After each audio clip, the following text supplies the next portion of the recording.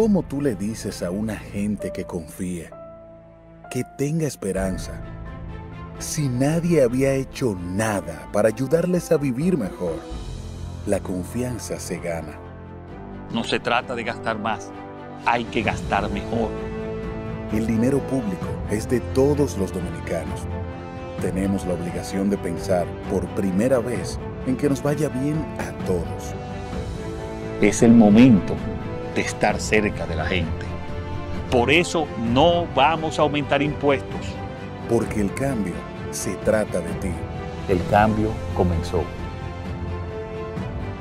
Gobierno de la República Dominicana.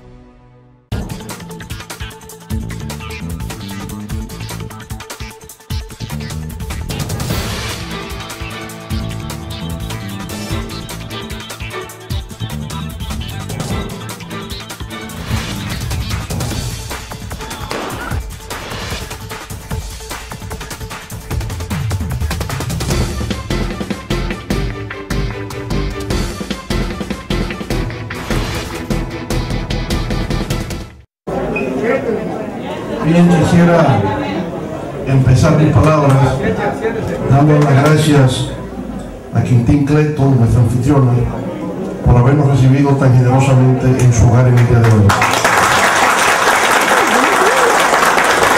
Un saludo a los compañeros miembros de la dirección política de nuestro partido, compañero Nicolás Calderón, que es titular de la Secretaría de Finanzas, al compañero Carlos Guzmán, su alcalde aquí en San Domingo Norte, el más valorado alcalde de la República. Compañero Tony Herrera, también miembro de nuestra dirección política. Compañero Rubén Maldonado, diputado de la Patria. La compañera Dulce Rojas, diputada de la Patria, y miembro de la Dirección Central. Compañero Pablo Olmo, presidente de la Fuerza del Pueblo aquí en el municipio de Santo Domingo Norte, compañero Fabián Mambrú, miembro de la dirección aquí también municipal. Y yo le recordaba a Mambrú que él se fue a la guerra. Compañero Manuel Brito, miembro de la dirección central de nuestro partido, compañero Jesús Félix, ex alcalde y miembro también de la dirección central de nuestra organización. Bueno, me alegro que este encuentro se haya grabado, que vamos a tener una difusión de lo que ha ocurrido aquí, porque yo me siento profundamente orgulloso de todos ustedes. Al escucharles intervenir, descubro lo que puede ser una faceta del pueblo dominicano que poca gente conoce. El esfuerzo, el trabajo, la dedicación, el aprendizaje que ustedes van haciendo en sus respectivas áreas de trabajo para de una manera honorable y decente sustentar el bienestar de sus familias. Cuando yo escucho a ustedes hablar de la producción de peces y los detalles que me van dando, y los pequeños peces, y los alimentos que hay que buscar, y cómo en este estanque tengo que trabajarlo de tal manera, y cómo coloco eso en el mercado, hay un conocimiento que se requiere para hacer eso. Y la idea es cómo yo convierto eso en riqueza, cómo yo puedo monetizar ese bien. Yo francamente cuando lo escuché me sentí muy orgulloso. Y yo pienso que de ustedes hay que hacer historias especiales para los medios de comunicación en la República Dominicana. Contar su historia. Contar la historia de cómo a través de la crianza de peces, aquí en Santo Domingo Norte, un joven como usted puede avanzar. Pero saber que hay fábricas de queso y cómo ustedes se conectan con los ganaderos y la conversión de esa leche en queso y cómo eso va al mercado.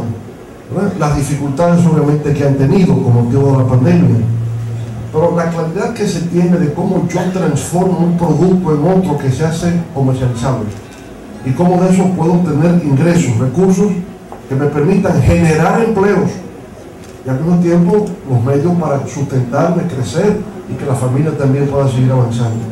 Porque mucha gente busca un empleo y quieren que a través del gobierno, si uno llega a la presidencia, consigan un empleo.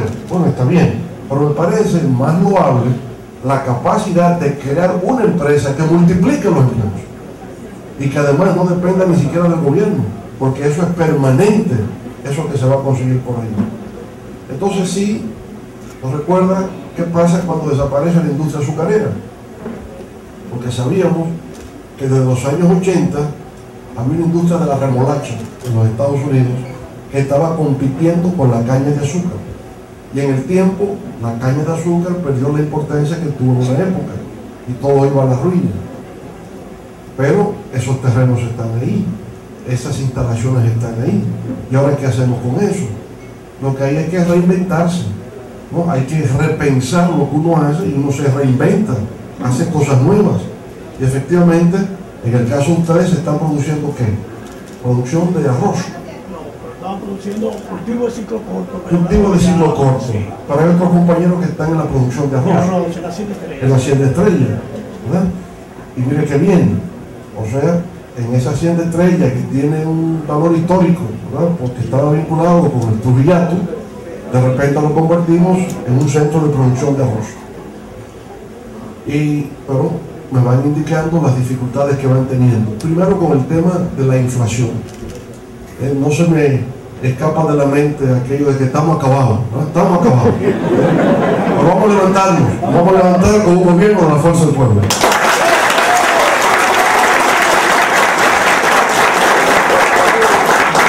Me queda en la mente de comprando caro y vendiendo barato. Así no se avanza. ¿eh? Ahora, ciertamente hay un tema con los insumos. El precio de los insumos, los commodities a nivel internacional. Sabemos la complejidad de lo que está ocurriendo. Son factores externos vinculados con factores internos. Son ciclos por los cuales se pasa la economía. En el tiempo se resuelven. Con la pandemia la economía mundial colapsó. Menos 7% decreció. Pues el gran tema es cómo cuando algo decrece, no es que esté en cero, es que está en menos 7 mundialmente, ¿cómo yo elevo eso? Y la única forma de hacerlo es a través de una emisión monetaria que hacen los bancos centrales. Pero en esa emisión monetaria, que es estimular el crecimiento, ¿hasta dónde un banco central o un gobierno puede emitir dinero. Eso es ilimitado. ¿Hasta dónde? ¿Cómo yo sé cuál es la cantidad de dinero que puedo emitir? Hay un semáforo. Y el semáforo se pone en rojo cuando aumentan los precios. Cuando los precios empiezan a aumentar de todo, ya yo sé que no puede seguir habiendo emisión. Bueno, el gobierno central, el Banco Central nuestro ha empezado a desmonetizar y ahora ha tomado una medida que nosotros decíamos, bueno, para disminuir la inflación, el, el alza de los precios, entonces hay que controlar esa emisión monetaria. ¿Y cómo lo hace? Aumentando las tasas de interés. Entonces el Banco Central acaba de aumentar la tasa de interés y está recogiendo parte de los 215 mil millones de pesos que lanzó a la calle con motivo de estimular el crecimiento económico en el marco de la pandemia. O sea que una cosa que está bien, porque tengo que aumentar el gasto, tengo que emitir dinero, eso que está bien, sin embargo se me convierte en otra complejidad que no estaba previsto, el tema de la inflación. Ahora, ¿cómo vuelvo a eliminar la inflación? Bueno, entonces desmonetizando, aumentando tasas de interés, eso puede afectar el, ritmo de crecimiento. Nada sale perfecto, pero saber qué es lo que hay que hacer. Entonces, el tema hoy día en la economía dominicana es cómo volvemos a la normalidad. La normalidad es crecer con bajos precios de los insumos para que haya una rentabilidad en lo que ustedes hacen. Yo he aprendido mucho escuchándoles hoy. No se imaginen eh, lo que ustedes me motivan en las cosas que hacen. Lo que yo quisiera, compañero Rubén, compañero Carlos, eh, compañero Mambrú, compañera Quintín, con todo lo que yo quisiera es volver pero a cada uno de los establecimientos. Bien, amigas, amigos, esta lluvia pues nos hizo, nos causó un retraso de unos 10 minutos. No estaba en planes, llegando al canal un aguacero que no nos permitió salir eh, del vehículo y luego de que pasa la lluvia, pues yo pensé que lo que vivíamos eh, allá por Guajimía eran los únicos que, que veíamos, pues ríos en las calles. No pensé que en el Vergel, ¿verdad? Pues la calle eran prácticamente ríos. Entonces luego pasada el agua, tuve que esperar que bajara el río del Vergel.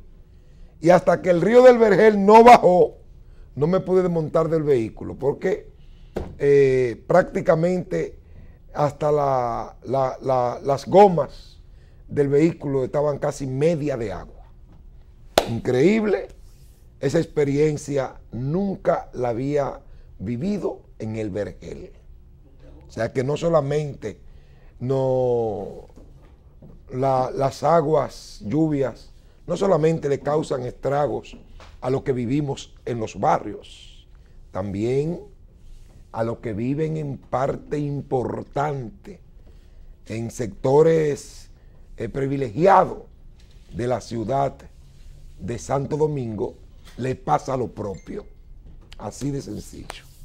Pero nada, aquí estamos. Y estamos en Navidad.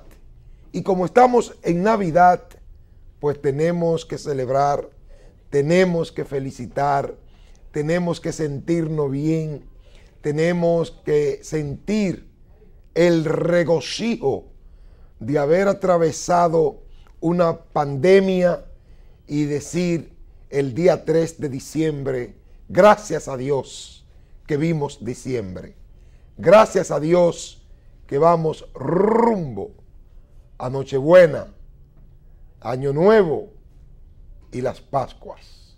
Así es que, ¿qué más que no sea agradecerle al que nos lo ha dado todo, al que evitó que nos diera el COVID, al que evitado que nos dé el COVID y nos tiene respirando de manera gratuita. Así que gracias, felicidades a ese público maravilloso que durante 17 años han dicho pues presente en este espacio. Gracias, de verdad, muchas gracias. No tengo con qué pagarle, no tengo cómo agradecerle tanto afecto, tanto cariño, tanto amor y tanta decencia que ustedes han tenido para con este espacio. Por supuesto, a Domingo, el camarógrafo, a Héctor, a Mauri, a Ditren y a todo el personal, a Zoila, que es la que más molesta cobrando. Zoila, ¿verdad? A Zoila y a todo el personal de esta planta eh, televisora. Felicidades y le doy este regalito de Navidad y Año Nuevo. Así que aquí ha comenzado la Navidad. Adelante, Mauri.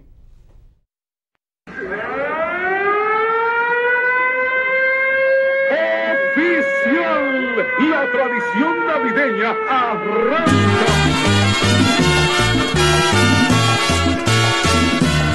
Traigo una trulla para que te levante. Traigo una trulla para que te levante.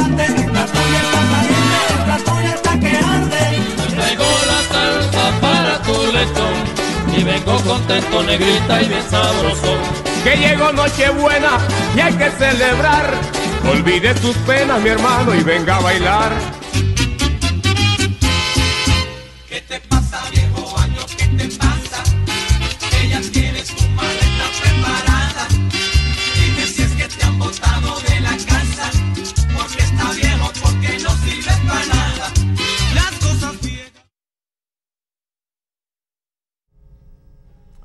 Se frizó. Bien. Así es que felicidades, felices eh, todos estos días de diciembre. Yo sé que Dios va a permitir eh, que ustedes y nosotros lleguemos a la Nochebuena, la disfrutemos, Año Nuevo, lo disfrutemos junto a, a todos nuestros seres queridos. Así que ahora eh, nos toca pues ir a las informaciones eh, que le tenemos diseñada, resguardada eh, para todas, para todas y todos. Señores, lamentablemente en, eh, falleció uno de los músicos más connotados de la República Dominicana, el músico Jorge Taveras, músico de generaciones. No solamente alegró escenarios en la República Dominicana, sino en todo el mundo. Así es que nos unimos al pesar, al dolor, pues que envuelve a la familia de Jorge Taveras. Y falleció este viernes a los 76 años de edad, pues Jorge Tavera, el maestro eh, Jorge Tavera, la familia del laureado artista, informa de su eh, deceso a causa de complicaciones eh, con su salud, indicó una información enviada al momento.next. Giovanna García, hoy viuda Taveras, informó que su deceso sucedió en la unidad de, terapia intensiva de un hospital de la ciudad de Orlando, en la Florida. Eso es, pues, en Miami. Así que, paz al alma del músico Taveras. El ministro de Turismo, David Collado, pues gestiona de que residentes de Atlanta, pues escojan como destino turístico a la República Dominicana. El turismo, que es la industria sin chimenea y que es renglón importante en la economía de la República Dominicana y que llegado el COVID-19 pues sufrió de manera eh, significativa debido a la recesión mundial, debido al cierre eh, y que todos los hoteles pues cerraron sus puertas y esto por supuesto se fue en picada y por eso pues la economía mundial pues sufrió, ha sufrido estragos y que ya hoy en lo que tiene que ver con el turismo pues poco a poco se ha ido recuperando. Además, hay que destacar el esfuerzo hecho por el presidente Luis Abinader de garantizar, ¿verdad?, eh, que el turismo arranque nueva vez. Y David Collado, que ha interpretado de manera sabia e inteligente, pues las instrucciones del presidente Luis Abinader, no se queda atrás y hace cuantas cosas sean necesarias para recuperar la industria sin chimenea. El ministro de Turismo se reunió pues en Estados Unidos, específicamente en Atlanta, eh, con más de 350 tour operadores y agentes de viajes en su esfuerzo para fortalecer este importante mercado. El funcionario destacó la importancia de Atlanta para garantizar que más turistas norteamericanos pues elijan a República Dominicana como su destino para vacacionar. Estados Unidos sigue siendo nuestro principal país emisor de turistas y estamos apostando a que Atlanta tendrá un papel protagónico en ese aporte, explicó el ministro. Collado también sostuvo visitas privadas con tour operadores, agencias de Viajes y Líneas Aéreas, con quienes firmó convenio de cooperación, convenio de cooperación, eh, con quienes firmó convenios de cooperación como parte de la estrategia de promoción de la República Dominicana como marca país. Recordó que la industria turística continúa recuperándose de manera sostenida y solo el sector hoteleros, bares y restaurantes creció un 26.6% entre enero y agosto, el doble del promedio de la economía dominicana. Destacó el crecimiento récord de octubre. República Dominicana recibió 443.018 visitantes no residentes.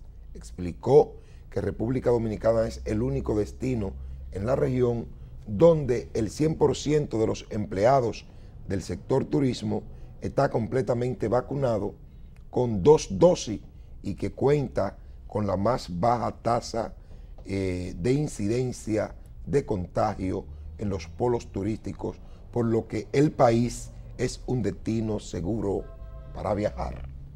Felicitamos al ministro de Turismo eh, por estas declaraciones, por esta participación en suelos extranjeros, tratando de encender la industria sin chimenea, que al decir verdad es uno de los renglones, eh, si no el más importante, está entre los renglones importantes de nuestra economía. Le recordamos a los amigos y amigas eh, sintonizarnos a través de Facebook. También suscribirse a nuestro canal de YouTube José Manuel Mesa TV.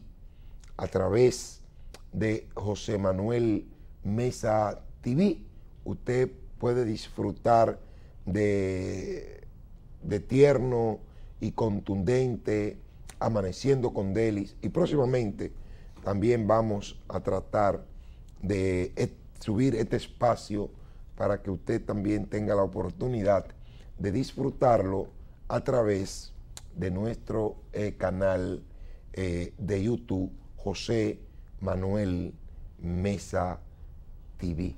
Ahora vamos a una pausa y retornamos con los puntos sobre la mesa.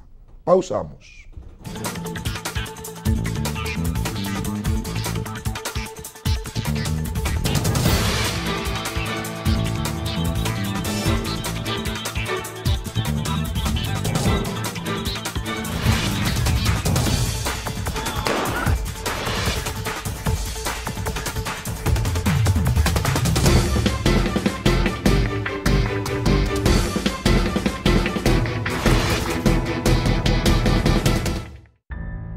Cómo tú le dices a una gente que confíe, que tenga esperanza, si nadie había hecho nada para ayudarles a vivir mejor? La confianza se gana. No se trata de gastar más, hay que gastar mejor. El dinero público es de todos los dominicanos. Tenemos la obligación de pensar por primera vez en que nos vaya bien a todos. Es el momento de estar cerca de la gente. Por eso no vamos a aumentar impuestos. Porque el cambio se trata de ti. El cambio comenzó. Gobierno de la República Dominicana.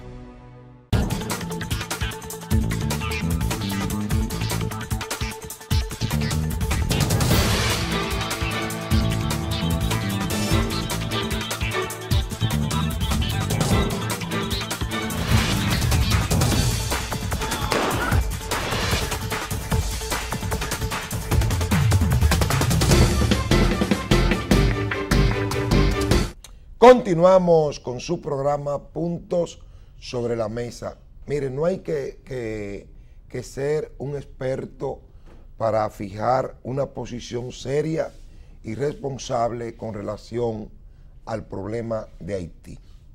Lo cierto es que los haitianos tienen que garantizarle los servicios esenciales en su país, no en la República Dominicana. A los dominicanos, el gobierno dominicano está obligado a garantizarle los servicios básicos a los dominicanos, no a los haitianos. El gobierno haitiano es el que tiene, el que está obligado a resolverle sus problemas a sus nacionales. Así de sencillo.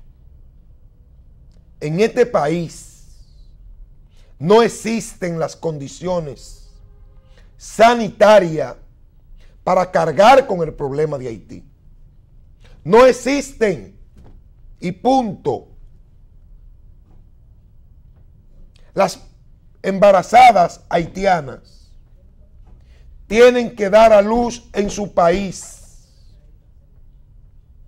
Sobre todo si son ilegales.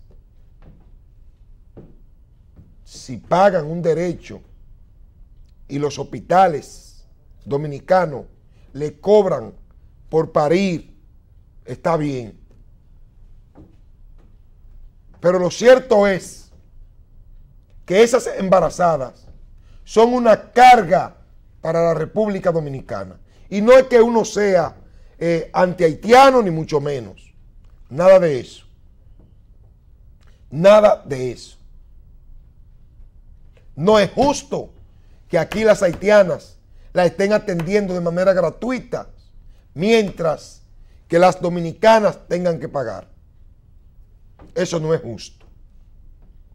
No es justo que en el hospital de Engombe vayan 10 parturientas y de las 10, 9 sean haitianas y solo una dominicana. Eso no es justo. Y no hay que ser un, no hay que ser un experto para decir que eso no se puede, que eso es inaceptable y que nosotros como país no podemos permitir ese tipo de cosas. Así de sencillo. Eso es así. Usted de allá y nosotros aquí. Vengan aquí los que estén legales. Los que estén ilegales se van. No importa quién sea. Si está ilegal, tiene que irse. Ahora, si está legal, debe permanecer el tiempo que nuestro protocolo migratorio le permita quedarse en este país. Esas son las reglas para la Comisión Internacional de los Derechos Humanos, para la comunidad internacional, para todo el mundo. Esas son las reglas. Y bien hecho que el presidente Luis Abinader pues esté en la dirección de enderezar eso. Eso hay que enderezarlo. A como dé lugar, hay que enderezarlo. Y nosotros apoyamos la decisión del presidente en esa dirección. Nos identificamos plenamente con el presidente en esa dirección. Sin dudas. Señores, otra información. En esta semana vimos piquete en varias instituciones públicas. Y esos piquetes en esas instituciones públicas, nada más y nada menos de ex empleados que reclaman sus prestaciones laborales.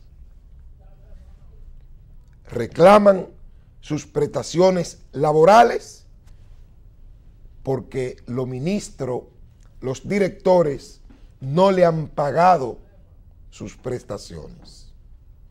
¿A qué se debe? No sé. Pero yo entiendo que esos son derechos adquiridos y que hay que pagarle sus prestaciones laborales a esos ex empleados. Por ahí hay un video de un ex empleado del Darío Contreras que le falta el respeto al presidente. Cuantas palabras le pasan a ese muchacho por la cabeza, él se la dice al presidente. Ese video, por supuesto, que yo no lo voy a poner, porque son impublicables las palabras que ese ex empleado del Darío Contreras le dice al jefe de Estado, porque no le han dado sus prestaciones laborales. Y así no podemos. No apoyamos las declaraciones que ese muchacho dice en contra del presidente, pero tampoco apoyamos que la dirección del Darío Contreras no le haya entregado sus prestaciones laborales a ese pobre trabajador, porque se ve que la desesperación lo está acorralando. Y él dice que le va a pegar fuego al Darío Contreras, que le va a pegar fuego al Servicio Nacional de Salud. O sea, no provoquen una desgracia, porque provocar una desgracia es sumamente peligroso. Es peligroso. No pueden cruzarse de brazos cuando cientos, cuando miles de ciudadanos y ciudadanas están esperando que se le pague sus prestaciones laborales. Evítenle un problema al gobierno. Los ministros y los directores no están para sumarle problemas al gobierno, están para ayudar al gobierno a gobernar y a eliminar ruidos. No es posible. Ustedes le están provocando ruido al gobierno.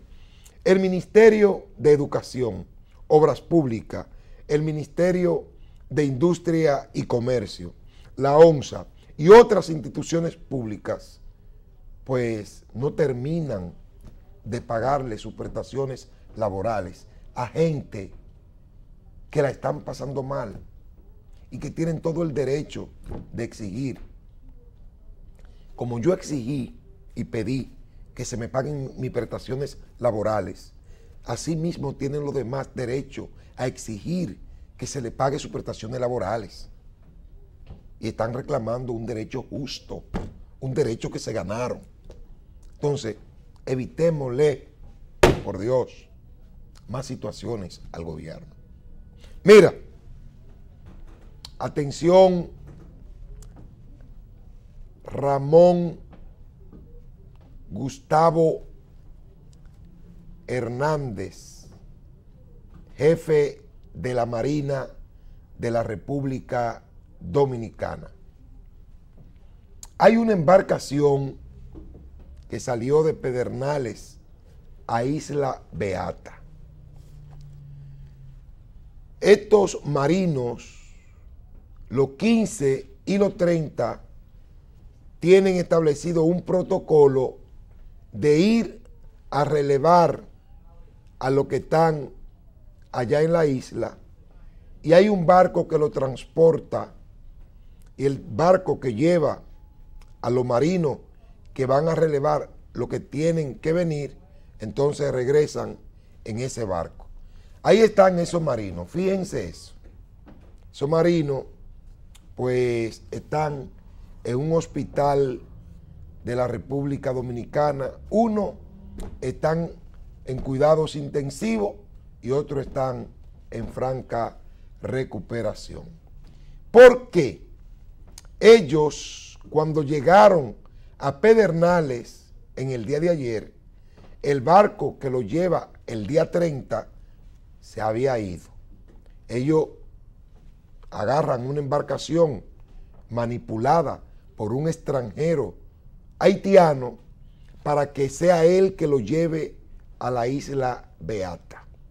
La embarcación zozobró debido a, un, a una brisa que se presentó en alta mar. Y esto viró la embarcación, la embarcación se fue al fondo y ellos duraron cuatro horas navegando los seis marinos, abrazo y salvaron su vida milagrosamente. El haitiano que tripulaba la embarcación lamentablemente falleció, se ahogó. No tenía el experimento de navegación que tenían los marinos y que salvaron su vida milagrosamente. Usted sabe lo que es cuatro horas navegando para salir a tierra. Entonces, esta es una situación que parece ser que era una práctica, que era una conducta. El barco, la onza, por ejemplo, me dejó, entonces yo tengo que agarrar otro vehículo que viene detrás. Pero el problema de esa institución es más grave de ahí. Según las informaciones, mire, estamos dando una primicia. Esto no ha salido en ningún medio. Esta es una primicia. Óigase bien. Esta es una primicia. Ningún medio. Y eso fue una, una información de ayer. Y ningún medio se ha hecho eco al día de hoy. Solo puntos sobre la mesa se está haciendo eco de esa información. Domingo, tú observa que muchas veces hay guaguas de las policías de tartaladas en la calle. De esa misma manera hay helicópteros de tartalados que tienen que volar y vuelan poniendo en riesgo y en peligro la vida de los pilotos y de los que van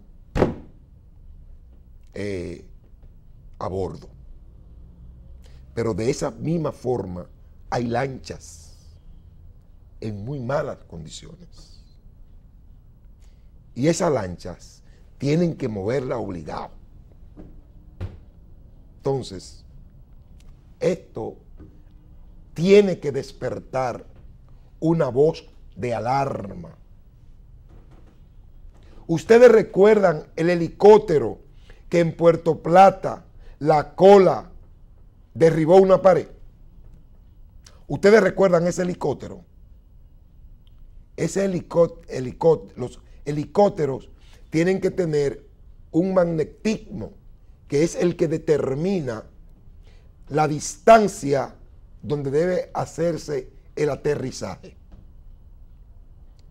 Ese helicóptero, el magnetismo, lo tenía dañado. Y a la vista, a conciencia, es que los tripulantes tienen que aterrizar, tienen que adivinar. Y por eso ese accidente.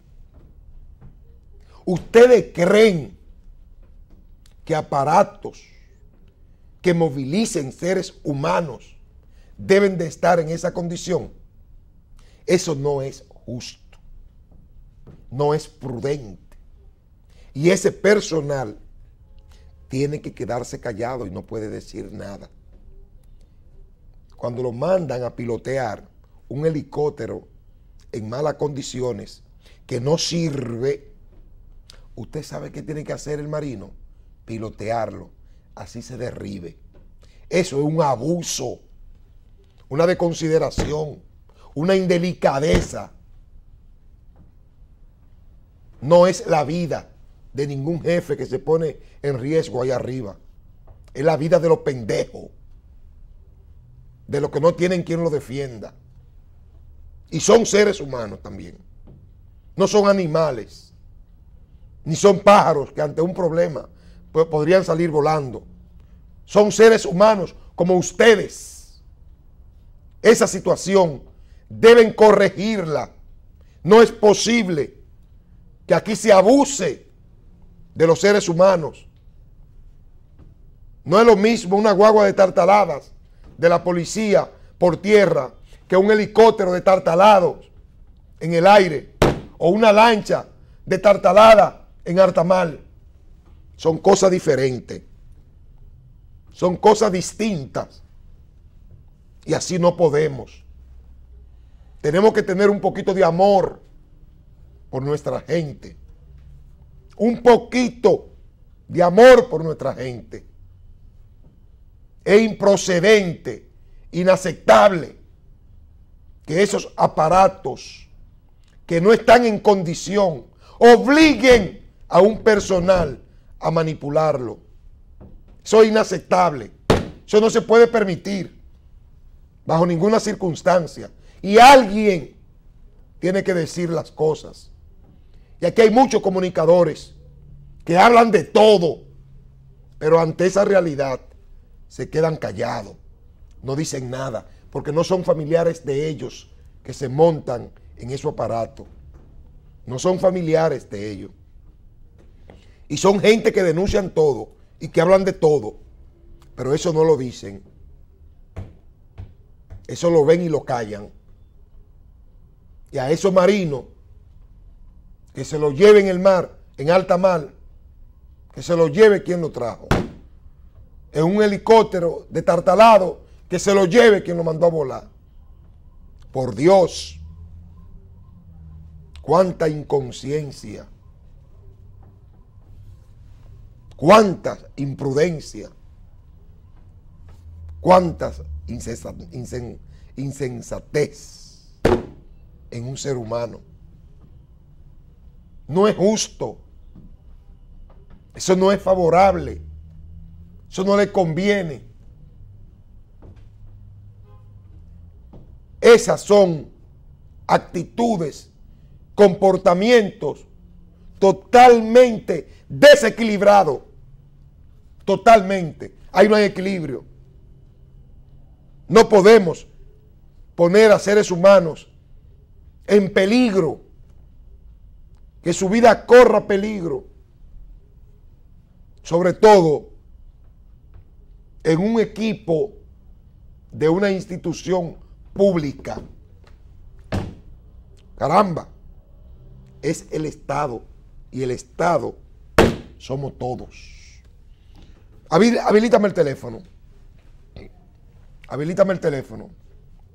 Estoy incómodo con esas informaciones que uno recibió de esos pobres marinos. Ponme los marinos ahí para que vean cómo están los marinos. Ponme los marinos. Esos son los hombres de la patria. Los hombres que, tienen, que van a defender la patria. Mira cómo están. Que han sido formados para defender la patria. ¿Eh? Navegando cuatro horas. Fíjense eso. Y han salvado su vida milagrosamente. ¿Quién sabe si los que están en cuidados intensivos podrán vivir? ¿Quién sabe? Buenas tardes. Buenas tardes, Mesa, ¿cómo está? Bien, Iris. Bueno, mire, Mesa, ahí no hay, ahí, ahí no hay arma en mandar una gente a, a alta mar en una cosa que no sirve para que se pierda. Esas son cosas que, mire, solamente en este país que se ven cosas así, porque hay gente que no se, que no, no meritan, porque yo entiendo que esa gente que, que, que forman esos viajes, a mandar a esa gente así, yo entiendo que no tienen familia, porque mire, en la familia de esa gente tienen que estar, yo lo estaba mirando por la televisión, esa gente ahí tirado, casi, casi muerto, no hombre, mesa, es una cosa grande. Y, y en otra, en otro orden, también le voy a, le voy a poner este tema, de la, de esa parturienta que usted estaba diciendo, de esa, de, tantas haitianas, que mire, nomás hay que ir a, a, a bater bienvenido para que usted vea cómo están las haitianas ahí en legales, casi todas, hembras y machos. Entonces ahí no van ellos a recogerlo, porque ahí deben de irlo a recoger, porque ahí sí hay mucho, mire, ahí sí hay mucho.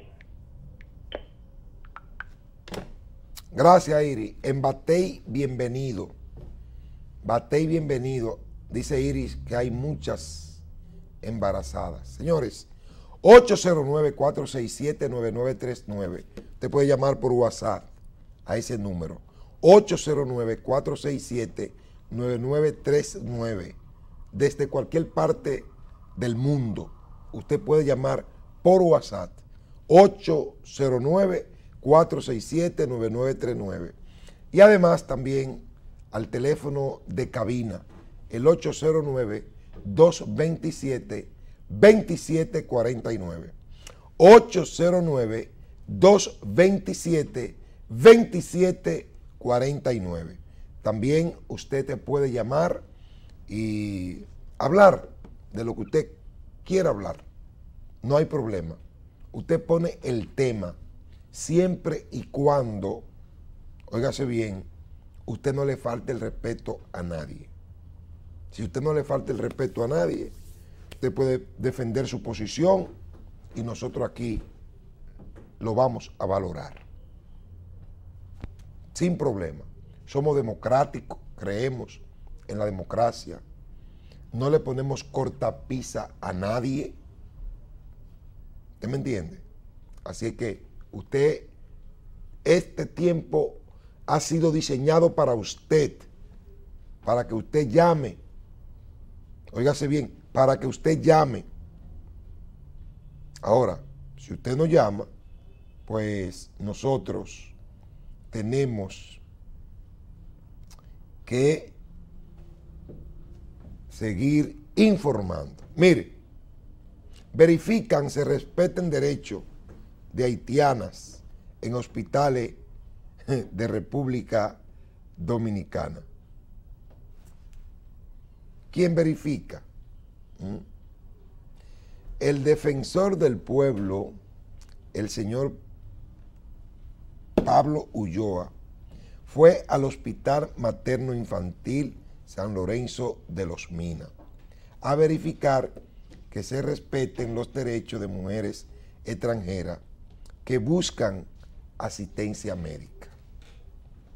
Ulloa habló con el director del centro, Leonardo Aquino Rosario, y la directora de consulta externa, Elía Mejía, quienes le explicaron la situación del establecimiento hospitalario. 1.726 mujeres alumbraron en 10 meses.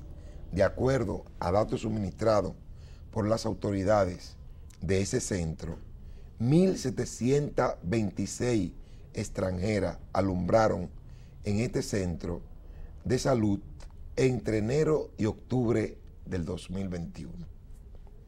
A raíz de las medidas migratorias anunciadas por el Consejo Nacional de Migración se registran una merma en la afluencia de mujeres extranjeras que buscan asistencia. Sin embargo, toda mujer que asiste a buscar atenciones de salud es atendida en este hospital, explicó el doctor Aquino Rosario. Yo le voy a decir al defensor del pueblo, al señor Ulloa, usted está para defender al pueblo dominicano. Usted está para defender al pueblo dominicano. Usted no está para defender a extranjeros. Porque nadie, absolutamente nadie, ni la institución que usted dirige, está por encima de la ley de migración. Eso es así. Lo que pasa es, el señor Ulloa yo no lo conozco,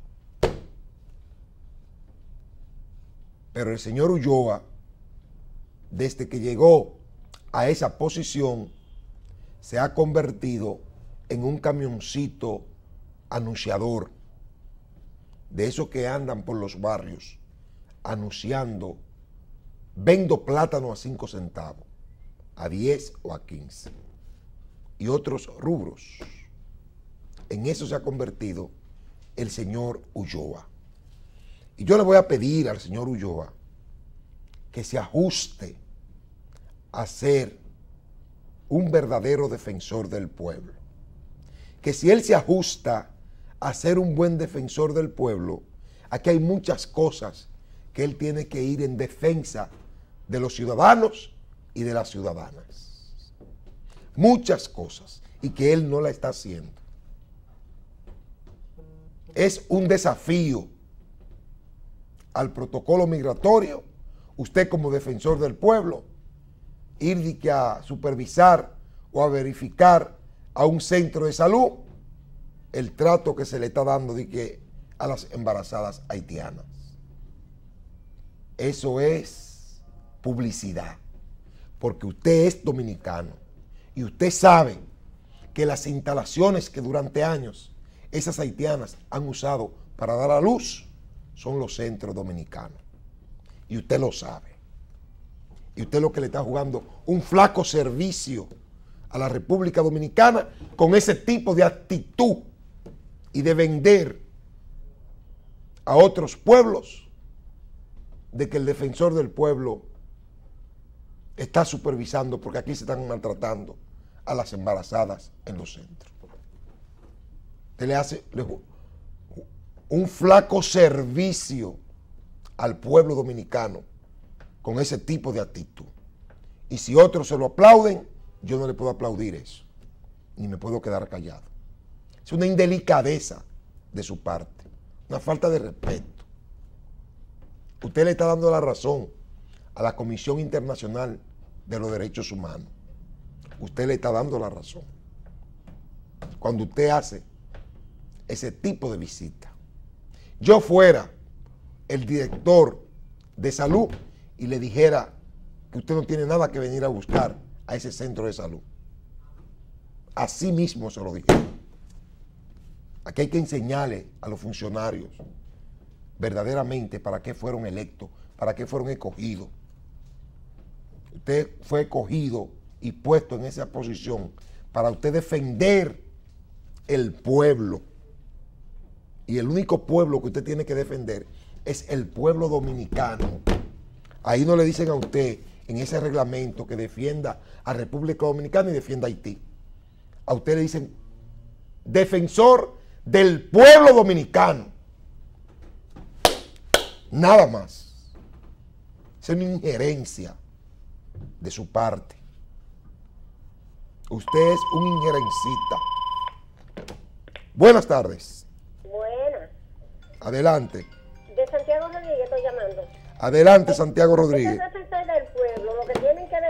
Que los que están secuestrados en Haití, ¿por qué no va a defenderlo? Exactamente. Exactamente. Fue una frecura de parte de él. Y lo felicito por su programa. Muchas gracias. Es una frecura de parte del defensor del pueblo. Una frecura. Garrafal. Óigase bien. Porque aquí hay gente que hay que decirle la cosa. Y que uno no debe quedarse callado. Y encarrilarlo para que él sepa qué es lo que tiene que hacer desde esa posición. No es ofender la dignidad de la patria. Eso no es lo que tiene que hacer. Usted no está ahí para defender ni para pisotear la dignidad de la patria. Más bien usted está ahí para defender la dignidad de los dominicanos y las dominicanas. Para eso que usted está. No es para otra cosa. Permítale a otra institución que haga eso. Y ya con, lo, con las acusaciones que estamos teniendo de inescrupulosos, inescrupulosas y de organismos internacionales que nunca han ayudado a Haití para nada y que no critican a la comunidad internacional para que ayude a Haití, ya con eso es suficiente. Con eso es más que suficiente. Así que deje de ser indelicado y trabaje por los dominicanos y las dominicanas. Ese es su papel. Ese es su papel. Ojalá que el equipo de asesores que usted tiene, que están muy bien pagados por nosotros, muy bien pagados, lo orienten y le digan a usted cuál debe ser su comportamiento, que no es el de usted visitar un centro de salud para de que vigilar el trato que se le está dando a las parturientas haitianas. Esa es una indelicadeza de su parte. Lo que pasa es que en este país lo permitimos todos. Señores, lamentablemente hemos llegado al final. La invitación habilitada para que el próximo viernes, Dios mediante, y si la lluvia eh, y el río Osama que pasa por aquí atrás no lo permite, estaremos nueva vez puntual con ustedes. Les invitamos hoy a las 12 de la noche sintonizar tierno y contundente por el 19. Buenas tardes, hasta las 12 de la noche. Bye bye.